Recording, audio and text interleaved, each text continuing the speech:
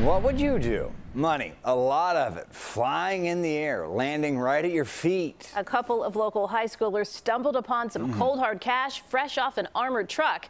They told our Steven Graves about their only option of what to do with it. For a day in Skokie, it was like money grew on trees and came down like fall leaves. It was so windy, literally, you, money was floating in the air. Zev Goldstein and his friends were walking from breakfast Thursday morning outside Fasman Yeshiva High when more green than grass started appearing. Hundreds of 20s just lying on the ground.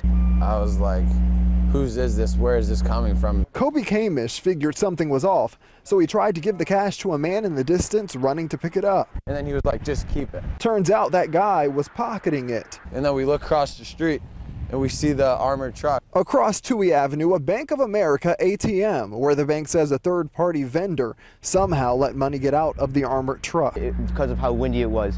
It, he, it was futile and he just gave up. And how much did you find?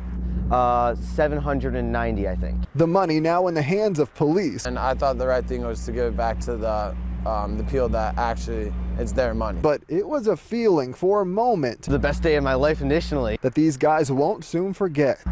Yeah, I wish it could happen a second time.